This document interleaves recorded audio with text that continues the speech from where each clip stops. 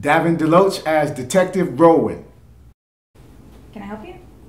Morning, ma'am. Detective Rowen from the North Charleston Police Department. Can you tell me if you got any rooms checked out under this name? Uh, yes, actually, we have two rooms under that name. I'm going to need full access to those rooms right away. Please.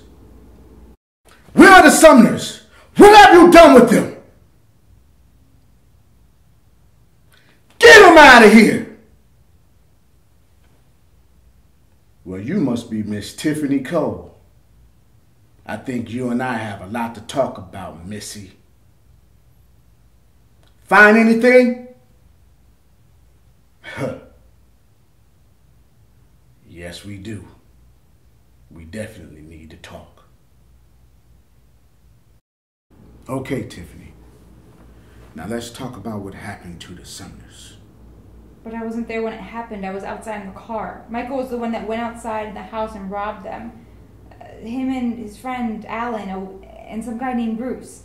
I think it's Alan's cousin or something. Bruce, huh?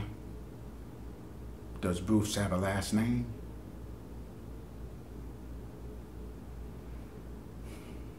All right, Tiffany. Now I want you to think hard. I need to know where are the Sumners now?